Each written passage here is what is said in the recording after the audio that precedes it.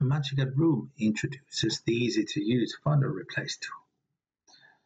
With Find and Replace, you can easily change wall structures, window and door types, roof and floor slab exceptions, and even wall exceptions.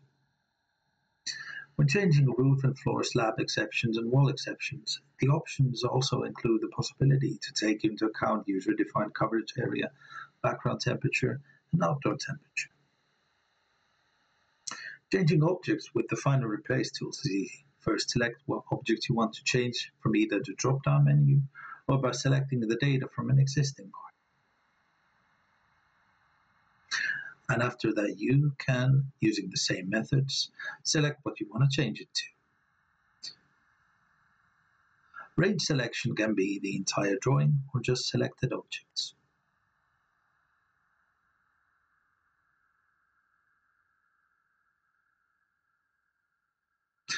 As an improved function, now you can also delete multiple objects at the same time based on a selected area